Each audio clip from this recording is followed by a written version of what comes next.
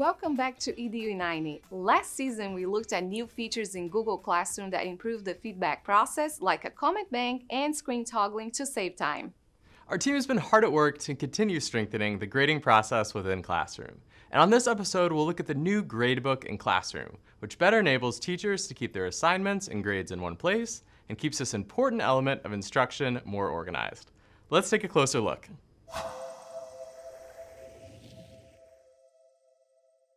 User feedback is at the core of each new feature we roll out in Google Classroom, and this is no different.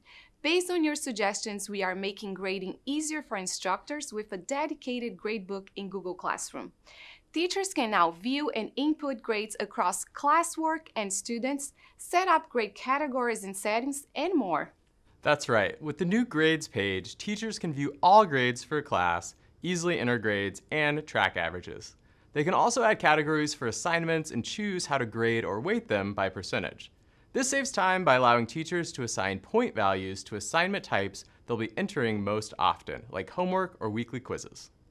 And to make the grading process more streamlined, instructors are also able to return assignments to students or view submissions with one click in the gradebook.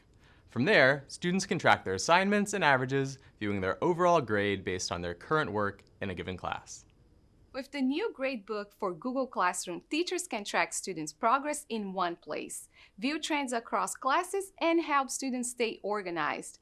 The gradebook gives teachers and students a holistic snapshot of student work and gives them the ability to share progress and grades with parents and guardians. Well, that's all for this episode. Check out the links below for more information on this new feature. And in the comments, let us know what classroom features you'd like to see next. We'll see you next time. Looking for some ideas and inspiration for math class? Check out our last episode where we highlight the creative ways educators like you are using Google Keep with math.